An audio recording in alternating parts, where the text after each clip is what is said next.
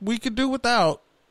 Cause y'all just coming outside, yeah, man, but, coughing on shit. that dude's already done a lot of extra shit. So Yeah, like that. Right. I, don't- I don't. I mean, the Philippines is a whole different animal. But like when I look here in America, like the fact that people were still going to the like, I don't understand. First of all, I think it, was, it feels like kind of a setup when they say, okay, social distance, but you can still go to the beach. You can still go out and run. Well, that defeats the purpose of staying at home. Well, now you can't. Now you can't even do that. Yeah, because people Now are, you can't get a. You can't go to a trail. You can't go to the beach. which you shouldn't. That that should have been the first place they locked down. Santa Monica, Santa Monica's losing their mind, bro. It's bad out there. Like I mean, assuming. I mean, I don't think.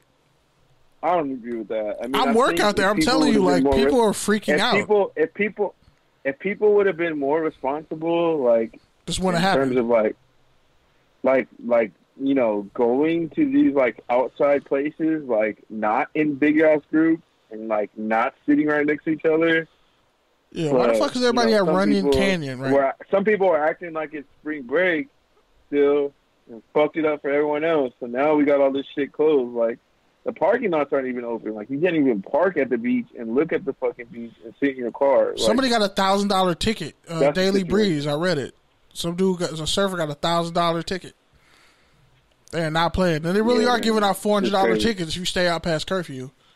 At least four hundred, from what I've seen and heard.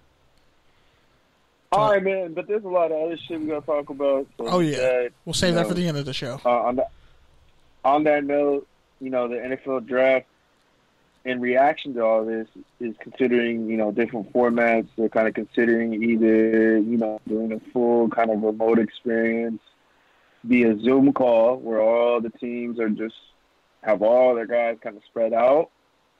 Or, you know, just allowing team employees to go to the facilities, but, you know, with enough space in between them and kind of convene that way. But but I don't even know if that's what you're talking about because I think somebody mapped it out and was like, even if you have the GM, the coach, you know, the the head of scouting, and you know, your cap guy, that's already four people. And you're not talking about position coaches. You're not talking about regional scouts. You're not talking about runners. You're not talking, and and you you have to have enough people to make calls, to take calls, to inform the players. So so this is a, like, you know, usually the, the teams are anywhere from like 15 to like 30 people. I think I read something like that. So they don't even want people convening in rooms of more than 10 people. So I don't even know how that's going to happen. And Realistically, Saints initially, the Saints were talking about doing it at a brewery, but I think the NFL kind of shut that down because they're like, well, it's either everybody's going to be able to meet or nobody is type of situation. They don't want to give anybody a competitive advantage by, you know, letting one team convene and not all the other 31. Yeah, because they were going to be at a brewery that the Bensons owns. But my thing is, okay, when it comes down to picking a player, it's the GM, the owner, the coach, and the cap guy.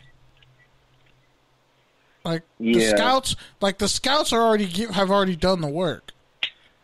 You already have enough Yeah, tape. It comes down to who you want. But it's a it's a it's a situation of like, you know, when the clock is on, a dude is falling, and it's like, we gotta get this dude, and then somebody else goes, nah, like he's falling for a reason. We don't want him. It's like, no, look at the tape. Check out this game. Here he is playing this guy who went in this first round, and he's dominating. him. Like, so it, it just kind of takes away that organic live element of like, hey, put the film on this guy right now as this is happening, and let's make this shit happen, type of thing. Because Jared So- Allen said he wasn't going to watch because it's the most boring thing ever. Yeah, for sure. But but and and to to your point, it's like yeah, the scouts have already done a bulk of the work, so you're really going to see who has the best scouts right now because it's really going to be all based off that scouting and based off of what everybody's doing as an individual versus you know what you can collectively do on draft day and, and all the kind of rank and, and stuff that kind of comes with that whole situation. But And, and players yeah, are already really come sending out pro day of what, tapes. what the scouts say. Yeah, players are already sending out pro day tapes too. So it's kind of like people are doing what they got to do. Um, I just think when it comes down to it, I mean, it's no- not like the draft is a hit. Like it's not like every draft pick is a hit anyway. So it's like but this year either because the virus, it's a crapshoot. But this year, especially, it's going to be a crapshoot, and we'll see. maybe I think honestly Yeah, they should go to the. They should consider doing a round a day, like stretching it out around I mean, day. I think it would be cool. They That'd be brilliant. that. I think it would be cool just to give us something to do and watch. it was a whole day Right. to just talk about that. But I think, but I think, like I said last week, you know, I think they just want to make it. I think the NFL is just trying to be the one consistent thing that we have right now across life, and they're trying to maintain as much or as close to their schedule as they possibly can, at least on the good side of it. That's the good way of looking at it. On the bad way to look at it is NFL just doesn't give a fuck about anything, and they just zag on everybody's zigs, and they're just out of touch and look ridiculous. But Yeah, because baseball was thinking two, about two start. sides of every coin. Yeah, baseball Two was thinking about open, coin. Yeah, baseball was thinking about opening up on July fourth, which I think would be fantastic for baseball. But Assume, assuming everything's straight by then. yeah, assuming everything's straight. But it's like I feel bad. I, I feel the worst for high school kids, man. Because what if you're like playing a spring Yeah. sport and you on the verge of getting a scholarship? Now it's never gonna happen. Like, yeah, we're gonna I look back I on, like, a three, it's gonna. Well, even my little sister, who's a junior, I was talking to her about like the whole college application because she, like, you know, they're not even letting anyone take the SAT. So, like, how's that situation going to work out? Because usually applications are due, you know, in like November or something like that. Do they even still count the SAT anymore? How that timeline? How is that timeline going to be? Do they even still count the SAT anymore? Because I've heard in a lot of places like they just don't. Schools don't even consider the SAT anymore. Yeah, I think they do. I don't know. Like like they don't completely rule it out, but like even in high school, I remember It's like just- senior year, they're like, yeah, we're not really factoring the SAT. We're moving away from the SAT is like the main reason, the main component for you getting into a school. We're looking at other things, and then I look at uh, I think it's Fullerton. It's Fullerton. No, I I think think the point is, uh, the point is just like everything as we know it is going to be at the very least on a different timeline, if not completely changed. yeah, That's that's all I'm really trying to say about that. which is kind of the scary example. part. Like, there's so much limbo. It's like, well, let's say you're doing and prepping for this, but then once things open back up, all that prep work is just useless because, like, this doesn't apply anymore.